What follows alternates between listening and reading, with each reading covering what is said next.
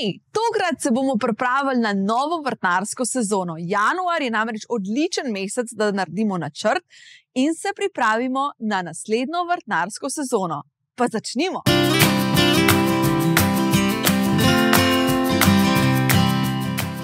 Tole je moj zaklad. To so semena, ki sem jih shranila še od prejšnje sezone, nekaj sem jih sama vzgojila, seveda pustila, da grejo rastline v cvet, posušila semena in shranila. Nekaj jih imam pa še od prejšnjih let, tista, ki sem jih zamenjala ali pa kupila. Prvi korak je, da naredimo seznam rastlin, ki si jih želimo imeti na našem vrtu. Naredimo tudi načrt, se pravi načrt gred, kje bomo kaj zasajali. Kje bodo začimbe, kje bodo mogoče kakšne maline, jagode, buče, ki rabijo več prostora. Naredimo plan, in seznam vseh naših rastlin, zato da bomo vedeli, kaj točno potrebujemo. Iz vseh teh semen naredimo nekaj preglednega, nekaj, kar bo funkcioniralo za nas in da bo čim bolj preprosto vrtnariti skozi celotno vrtnarsko sezono. In to je razporejanje semen po mesecih.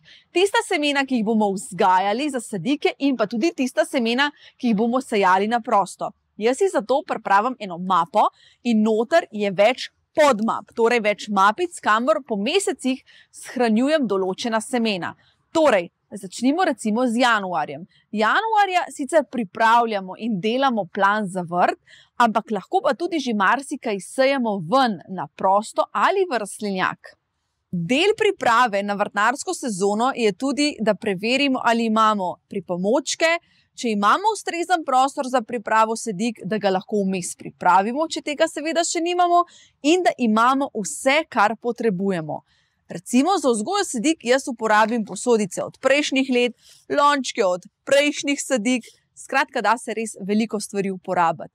Katero embalažo lahko uporabite za vzgojo sedik in jo imate zagotovo doma, sem že pokazala v videu, ki ga najdete na tem YouTube kanalu. Za še več ostalih vsebin, izletniških, zanimivih, ustvarjalnih, pa se ne pozabite naročiti na ta YouTube kanal. Če imate na tem mestu kakršno koli vprašanje, ga zastavite spodaj pod komentar in se potrudim, da pripravim vsebino, da bomo odgovorili na čim več vrtnarskih vprašanj. Zato da bo še več cvetočih in zelenih vrtov po Sloveniji. Daj, ko imamo načrt, kaj bomo imeli na vrtu, katere sadike bomo vzgajali, katere pripomočke rabimo za vzgojo sadik, je pomembno, da pogledamo tudi orodje. Ga imamo, je v redu, ga je treba kaj obnoviti.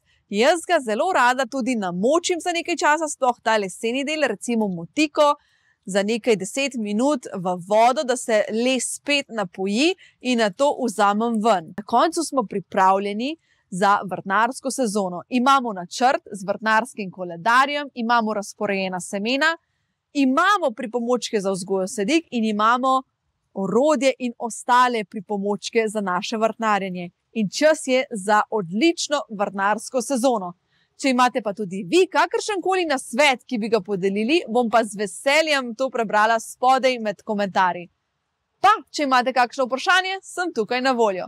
Se vidimo spet naslednjič v bolje za okolje. Čau, čau!